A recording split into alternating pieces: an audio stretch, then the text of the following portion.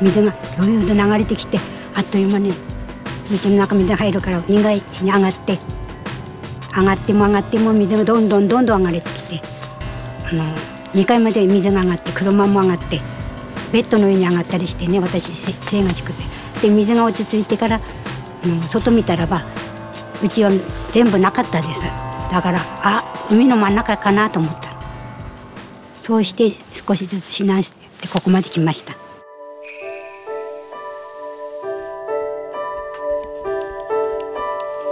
まずようやくなりましたけども初めは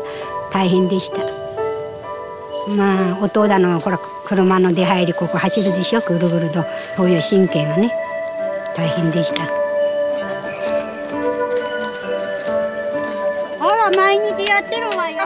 ノルティックウォークはみんなにとお話ができるし自分の体のためにいいなと思って参加しました。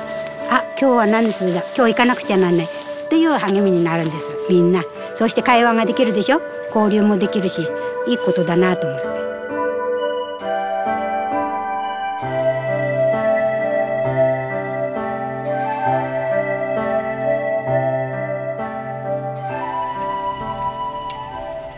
団を結成してから、えー、約1年仮設に入って健康を